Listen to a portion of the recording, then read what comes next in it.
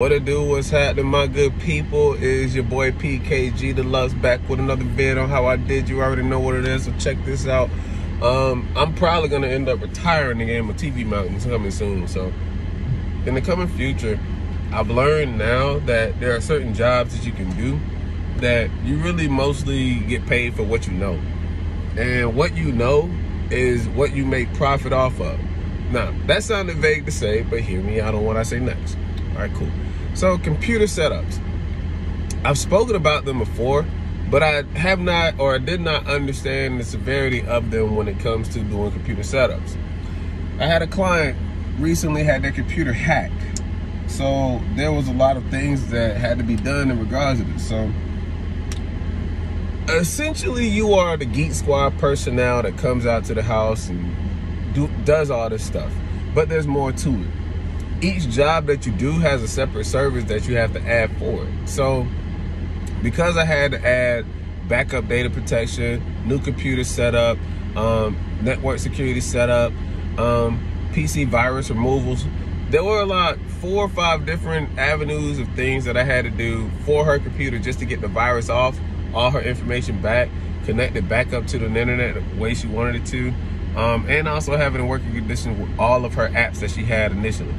Um, I, I won't say on how the hack happened, but the whole idea was to make it so that wouldn't happen again. So then I installed two firewalls and also two security systems. So I don't expect the older generation to be well prepared to see what happens when it comes to all this stuff. But if you are someone of the sort that knows this information, it is best that you prepare these people for it. So this is one of those jobs where it went from, hey, you're about to go make $85 possibly to like 480 something. So why did it go that route? It was because of everything I knew. Their computer got hacked, they wanted to clean it, had to have a new setup, had to save all their information, had to back it up, had to transfer all the data, had to do that as well, connect it back to the internet if they didn't know the passwords. There were just a slew of things to do. And also configure the email so they can get back into all that stuff that they had. So I say all that to say, when it comes to doing these computer setups, they're a lot more profitable than what I may have even envisioned the first time. And if you are someone like myself that knows a thing or two about a computer, or at least how to set it up, I mean, it's, to me, it's simple directions.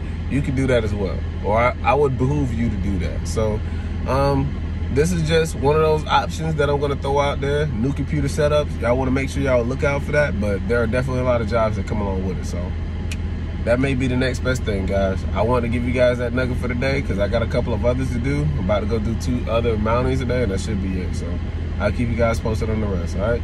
PKG Deluxe is here. PKG Deluxe is out.